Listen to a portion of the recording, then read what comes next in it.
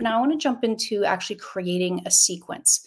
So we do have a few options, and you will notice across different platforms, they call it different things. Uh, it could be journeys, campaigns, cadences. Um, yeah, uh, we call them sequences. Essentially all the same thing, just a series of scheduled events. Now we have a couple options. You could build off of one of our templates if you really wanted a baseline idea of how to do this. You could, uh, or the goal is to build certainly your own team templates over time based on best practices. So it's just plug and play for the team. Again, going back to really seamless user adoption. Initially, though, you would have to build it from scratch or from Magic. So we'll dive into from Magic first because um, it's a lot cooler. uh, so this is one of our many AI features powered by ChatGPT. So you could easily um, create, uh, let's see if I saved it.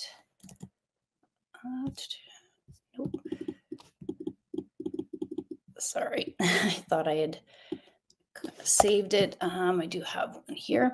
So we'll just grab this one. But you're going to give a prompt and explain to Jason AI what type of business you are, who the, the audience you're reaching out to, and what, the purpose of that. You can use improvement prompts say, make it friendlier or more formal, uh, persuasive, make it shorter. Um, I'll be diving into the AI scoring card in terms of sub, uh, content length but uh, just know that's certainly available. All right, so what it's doing is it's going to generate um, a, an appropriate email. I can regenerate it and try multiple times to see if I prefer something else. And then once you've gotten to the, the content you like, the template you like, you hit next. Now, Jason AI is going to formulate an entire sequence based on that value proposition and those pain points for you. And you can always edit every step individually or remove them or even uh, replace them in that workflow. Okay, so this allows you to really streamline the content uh, creation of these sequences to, again, just hit the ground running. The wizard still walks you through this very simple process at the bottom to get through each step um, we do have data as well.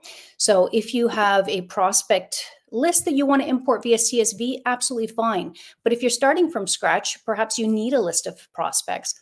So you could segment here using filters like um, the state they're in, the company size, the industry, uh, their revenue, and certainly titles. Okay, so um, this would allow you, I'll just pull up actually a quick list. So whatever your criteria is, it's going to produce what is available. So in this case, I have almost 200,000 records.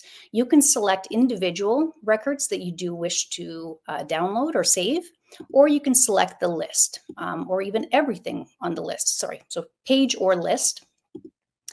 We always give you their emails. They are valid uh, or we've validated them. If we have a phone number, it is included and certainly their LinkedIn URL so that you can automate your LinkedIn communication and your sequencing as well. Okay. So another component of Jason AI, very exciting, is that now Jason AI can also read all the responses that come in from your sequencing.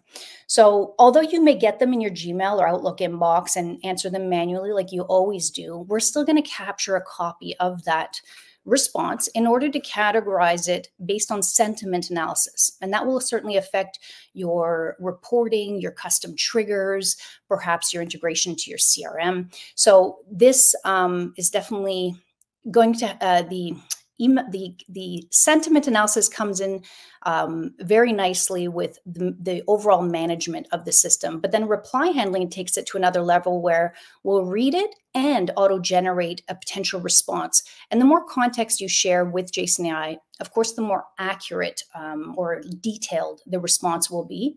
You can save it as drafts or even send automatically if you want to have more of an automated SDR experience.